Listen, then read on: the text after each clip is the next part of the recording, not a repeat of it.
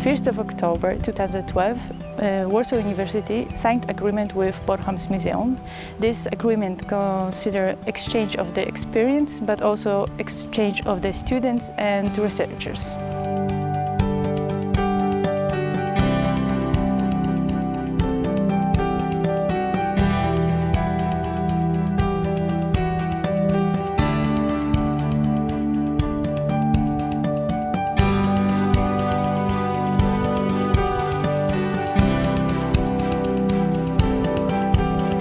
For us and for our students, I think that is quite a good place to do this kind of stuff because Bornholm is a great place for the students where is a very wide aspect of uh, archaeological sites. If we consider periods which we have here from the Neolithic, Bronze Age up to Roman influence and also uh, Middle Ages uh, archaeological sites. If we consider the Middle Ages, we, for example, we have castle, the Hammershus, where we have in this year uh, excavations. Is the first archaeological excavations on this uh, castle.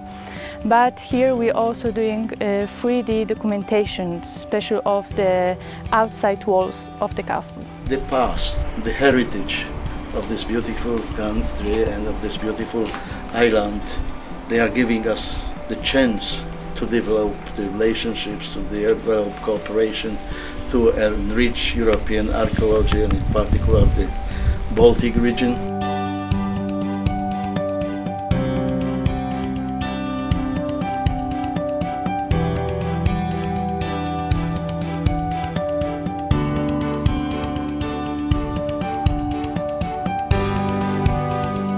We're very pleased of this uh, collaboration because it uh, uh, it makes us to uh, to have a, a, better results and also that uh, they can they have a new instrument and can do 3D scanning. We hope that maybe this cooperation also could continue next year.